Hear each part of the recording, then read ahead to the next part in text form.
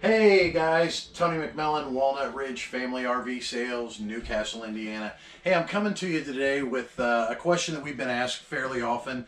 Uh, what's your differences realistically, uh, camping wise, whether you go from a travel trailer to a fifth wheel to a motorhome, and what are some of the advantages?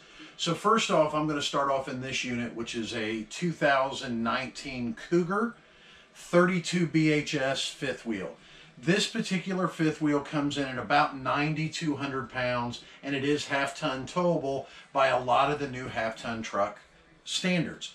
Half ton trucks being the number one selling trucks in America, this gives you the capability to not have to have a $75,000 diesel three quarter ton or one ton truck to tow. And it's going to give you all the, the luxuries and all the features that, that you might be looking for. Like most of your RVs in your kitchen area, you've got a 50-50 sink with a single lever faucet and a sprayer. It's got your microwave, your three burner stove, and your oven. Of course, a double door refrigerator with the freezer on top, but tons of sleeping space in this particular unit. Back here, you've got a great bunk area. In a perfect world, it never rains in the campground but we know that that's not what really happens. So one of the cool things about this particular layout is this top bunk on this side flips up, latches into place, and then there's a sofa underneath. So in those times when you've got inclement weather and you've got the kids or the grandkids with you, there is an opportunity for them to have a place to sit. There's a place for a television to be installed back here that uh, the sofa does break down to make a bed. So you can have two beds here plus the two beds here. So sleeping capability for four back here and still tons of room with storage space and all those things. Of course you also have the luxury that if you're not taking the grandkids or the kids with you and it's just going to be more of a uh, couples camp you don't have to open the slide back there. You can leave this door shut and now you've just got a couple's coach or grandma and grandpa's coach. Plenty of room at the sofa and dinette that's in here. And really a great layout. You've got a fireplace that's a 5100 BTU electric heater. Allows you to knock the chill off in here on cool uh, spring or fall mornings. And it's not something uh, then that you're burning your, your propane on. Your television, and of course your bedroom's all up front. So just a quick little walkthrough on a fifth wheel to give you some of the ideas.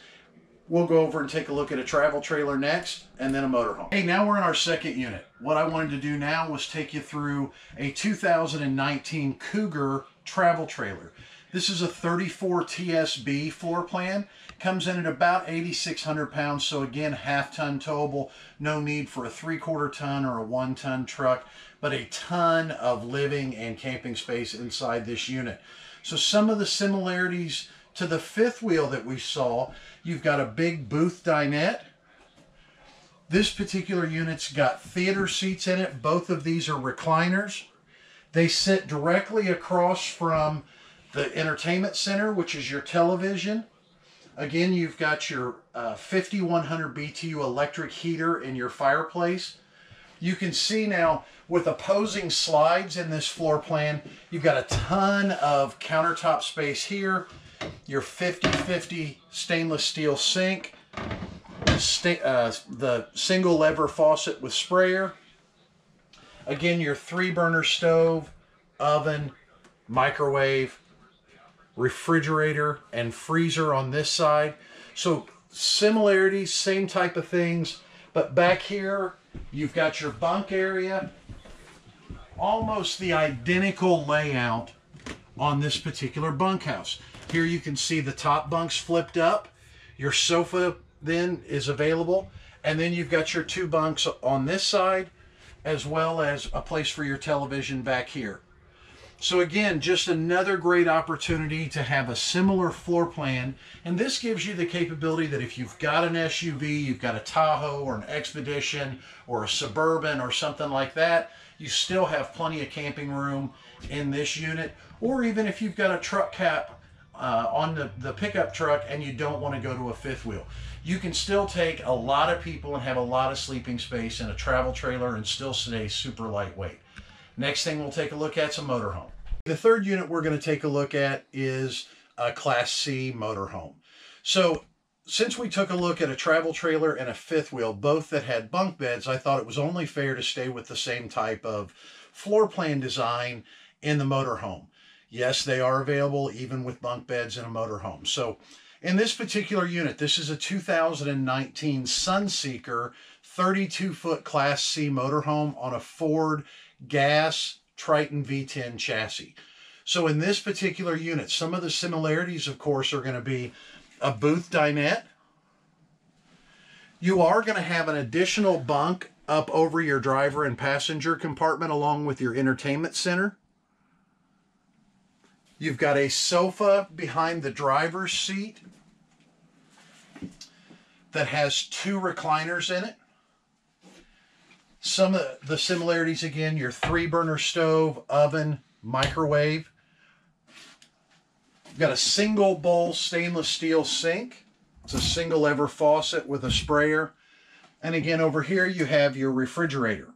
So your freezer on top, refrigerator on bottom. Now staying with the bunks, we've got the same sort of layout that we had on the two Cougars.